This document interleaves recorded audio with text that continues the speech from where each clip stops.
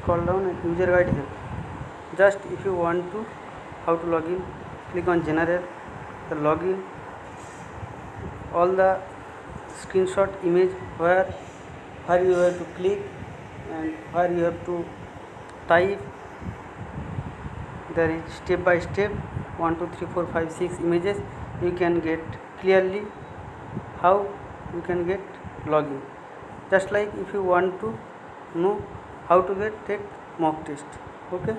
Then click on mock test take mock test. There are total 17 images first image to number image where you have to click and next screen and where you have to click. So the entire flow where you have to click and how you will go next by next and navigate and finally you can got the entire process from this section. Okay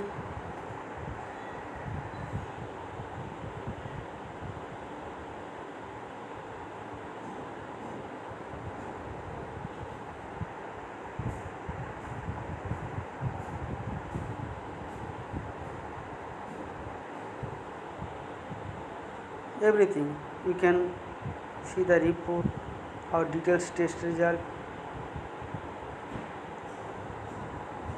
Just like you have to click here and you can see where you can see and how it will looks like. So